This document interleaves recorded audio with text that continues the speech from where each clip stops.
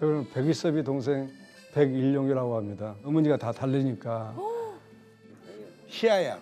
할아버지만 좋아. 할아버지만 좋아. 이 작은 할아버지 두살 때인가 젖 먹을 때 할아, 할아버지 학교 가면 울어.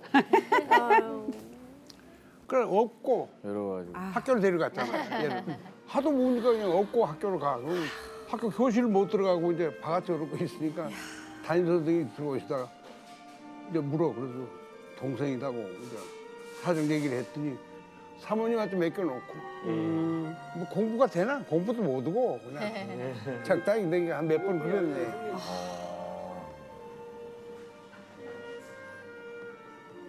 아 어렸을 때게 이제 엄마가 없으니까 누가 키워요 할머니하고 할머니하고 같이 지냈을 때니까 그러니까 형님이 이제 막 나하고 이제 아무도 없고 울고 그러니까 학교 다닐 때게 나를 업고 이제 가서 학교 가서 졌더 동장 졌더 어떤 미교 그랬는가 봐요. 그렇게 나를 많이 각별하게 생각했는가 봐요. 형님 그때는 그때 생각하면 좀 가슴이 좀 뭉클뭉클하죠. 지금 음. 이야기면 나 형님한테 좀 잘해야 되겠다. 하고.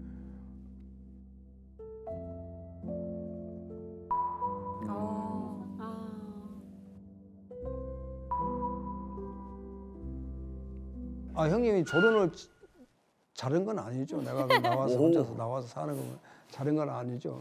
싸가지 없는 놈. 아이고.